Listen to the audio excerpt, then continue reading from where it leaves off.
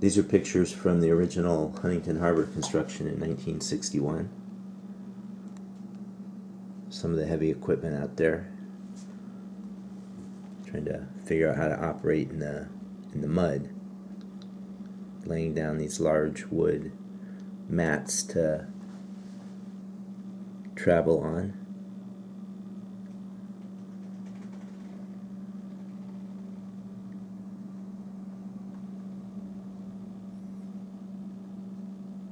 Laying down a path and then as it travels it, it reaches around and picks them up and keeps putting new ones in front.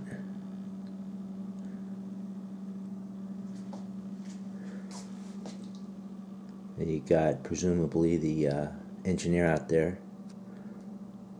Probably not a good idea to stand there. Yeah, she's supervising. Okay, good, he moves. Crane keeps moving forward. Oops.